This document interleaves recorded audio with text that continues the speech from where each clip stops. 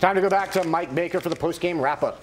Thank you. And people, let's keep it concise and punchy. Uh, Terry, hey, tell me about trooptree.com. In a second. Christmas right. Day. Christmas Day was my dad's birthday. He turned 70 years old. I love you, Dad.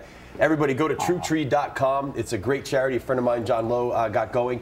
Basically, soldiers can go start an account. You can record messages for your family. They can see it anytime. It can be saved forever. God forbid something happens to you, they'll always have something part of you. Trooptree.com. Go to it. That's very, that's very nice. Uh, Yeah.